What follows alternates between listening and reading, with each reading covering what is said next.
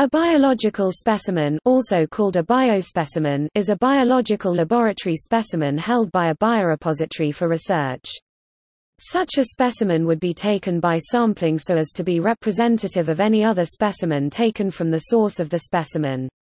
When biological specimens are stored, ideally they remain equivalent to freshly collected specimens for the purposes of research. Human biological specimens are stored in a type of biorepository called a biobank, and the science of preserving biological specimens is most active in the field of biobanking.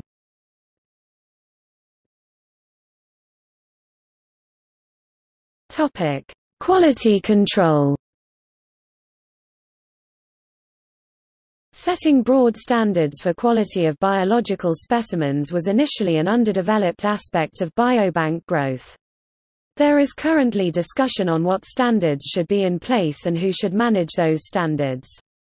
Since many organizations set their own standards and since biobanks are necessarily used by multiple organizations and typically are driven towards expansion, the harmonization of standard operating procedures for lab practices are a high priority.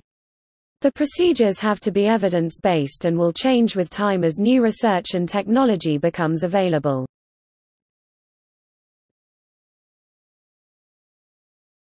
Topic: Policymakers.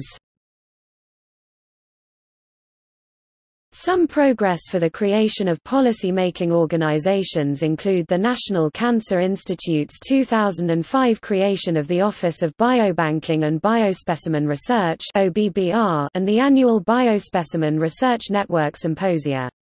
The International Society for Biological and Environmental Repositories, International Agency for Research on Cancer, Organization for Economic Cooperation and Development, and the Australasian Biospecimen Network have also proposed policies and standards. In 2008 AFNOR, a French standardization organization, published the first biobank-specific quality standard. Aspects of ISO 9000 have been applied to biobanks.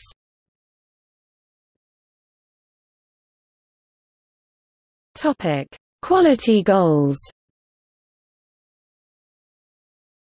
Quality criteria for specimens depends on the study being considered and there is not a universal standard specimen type. DNA integrity is an important factor for studies which involve whole genome amplification. RNA integrity is critical for some studies and can be assessed by gel electrophoresis. Also biobanks, which do specimen storage, cannot take full responsibility for specimen integrity, because before they take custody of samples someone must collect and process them and effects such as RNA degradation are more likely to occur from delayed sample processing than inadequate storage.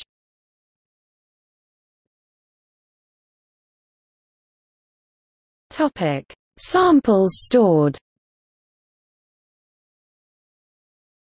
Biorepositories store various types of specimens. Different specimens are useful for different purposes.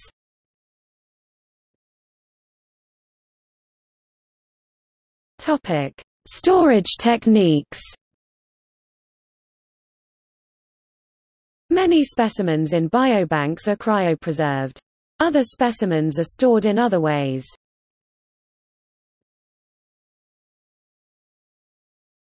Topic: Techniques associated with biobanks.